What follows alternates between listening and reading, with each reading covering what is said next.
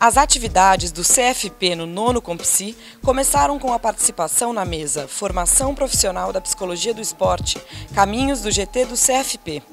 Entre os temas debatidos, a psicologia do esporte, muito prazer, com a professora da Universidade Federal do Maranhão, Cristiane Almeida Carvalho. As políticas públicas de inserção de atletas de alto rendimento no estado do Pará, com Giane Silva Santos e também reflexões para a construção da psicologia do esporte ampla e qualificada com a professora Adriana Bernardes Pereira, da PUC de Goiás. Eu acho que eventos como esse, né, do Nono Compsi, eh, venha trazer a oportunidade para que diferentes representantes das diferentes regiões do Brasil, principalmente que representam os GTs nos conselhos regionais, possam conversar, colocar as suas realidades, a realidade com que o esporte é tratado e de uma forma ampla possa ouvir regiões de alto desenvolvimento, como Sul e Sudeste, e regiões de menor desenvolvimento, como Nordeste, Norte e Centro-Oeste, no que tange a prática desta ação do psicólogo. Então eu vejo como um grande ganho essa oportunidade de estarmos juntos, de colocarmos a público as nossas diferenças e dificuldades,